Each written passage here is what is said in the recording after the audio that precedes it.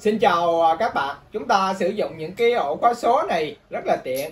À, vì à, không cần chìa, chỉ cần à, nhớ mật khẩu thì khóa lại, mở ra rất là dễ dàng. Và lỡ khi nào bị à, lộ mật khẩu á, thì chúng ta cũng có thể cài lại mật khẩu mới rất là dễ dàng. À, bây giờ mình chia sẻ cách à, cài lại mật khẩu của những cái ổ khóa số này.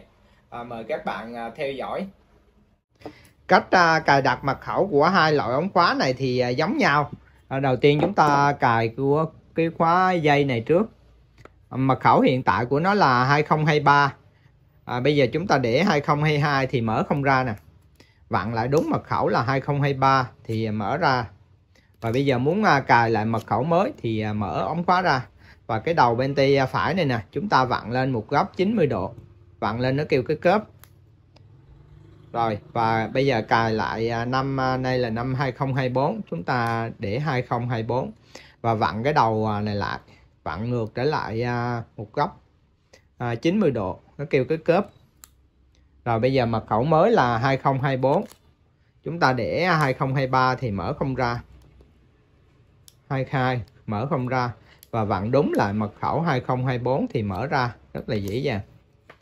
Còn cái này cũng tương tự như vậy hiện tại là mật khẩu 2023 thì à, để 2022 chúng ta mở không ra. À, để 2023 thì à, nhấn cái nút bên tay trái nè. Nó văng ống khóa ra dễ dàng. Và bây giờ muốn à, cài lại mật khẩu mới thì à, mở ống khóa ra. Và cái đầu bên tay à, phải này nè vặn lên một góc 90 độ nó kêu cái cớp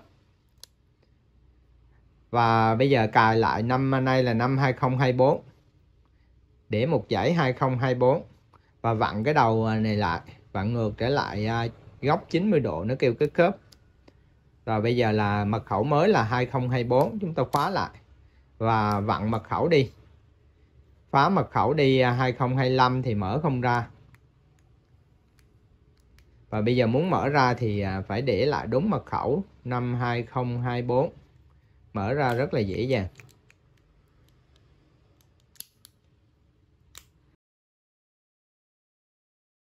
Khi uh, sử dụng những cái ổ khóa số này rất là tiện lợi chúng ta chỉ cần uh, nhớ mật khẩu thì uh, mở ra khóa lại rất là dễ dàng không cần uh, giữ chìa khóa.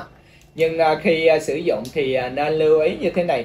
Uh, có trường hợp là mở cái uh, ống khóa ra và không có nhu cầu uh, sử dụng á thì uh, chỉ để như vậy và treo lên ở cạnh cái uh, cửa đó.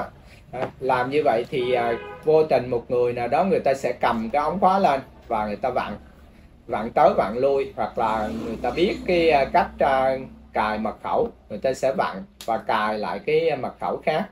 À, vô tình làm như vậy. À, khi chúng ta cần sử dụng á thì à, cứ khóa lại và đánh mật khẩu đi. Và khi à, cần mở thì mở theo cái mật khẩu cũ mật khẩu của chúng ta nhớ. Thì à, mở không ra. Làm như vậy thì vô tình người ta đã cài lại cái mật khẩu khác rồi do vậy, chúng ta mở không ra rất là phiền phức và phải đi kêu à, thợ tới à, mở ống khóa hoặc là à, đập bỏ đi, rất là lãng phí. Cho nên khi không cần sử dụng thì chúng ta cũng nên khóa lại và đánh mật khẩu đi để người khác không thể nào mở ống khóa của chúng ta ra và vặn tới vặn lui nó sẽ mất cái mật khẩu đi.